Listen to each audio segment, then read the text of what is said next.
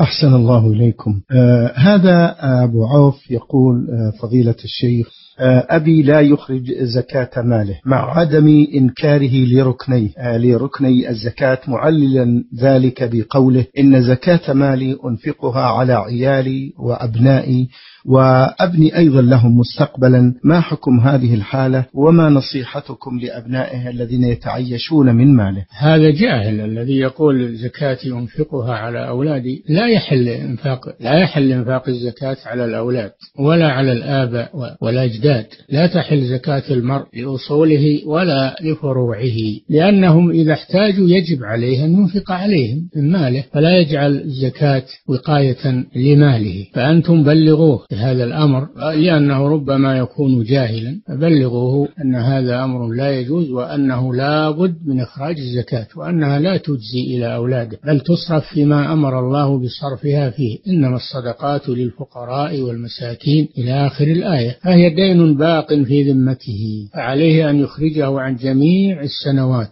التي مرت ولم يزكي فيها. نعم.